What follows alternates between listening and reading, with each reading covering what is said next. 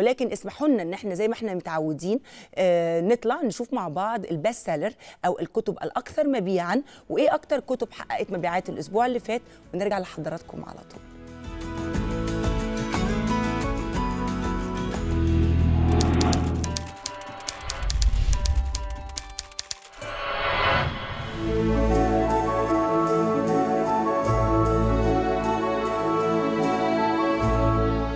يحكى أن يقدم لكم الكتب الأكثر مبيعاً هذا الأسبوع في المكتبات ودور النشر.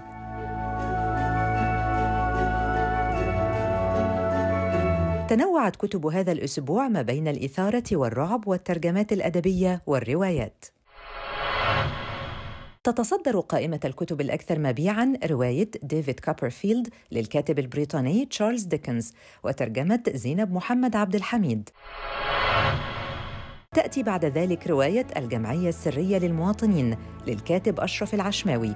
تتناول الرواية سيرة مجموعة من المهمشين في إطار زمني ومكاني خيالي وتتناول الرحلة حياة هؤلاء على مدار سنوات طويلة. ولم تخلو القائمة من روايات الجريمة والتشويق متمثلة في رواية جريمة العقار 47 للكاتبة نهى داود التي تدور أحداثها حول جريمة غامضة تتورط فيها فتاة لتسعى طوال الأحداث للبحث عن إجابة لغز الجريمة. ولم تغفل القائمة أيضاً السلاسل القصصية حيث ما زالت سلسلة فاي للراحل الدكتور نبيل فاروق في صدارة المبيعات رغم مرور سنوات على صدورها.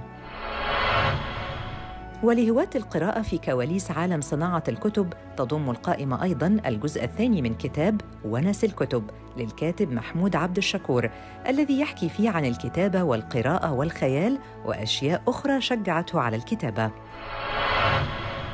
أما عشاق أدب الرعب فسيجدون رواية عندما يعزف الشيطان للكاتب يحيى عزام وهي مغامرة يسردها لنا الكاتب بين عدة دول.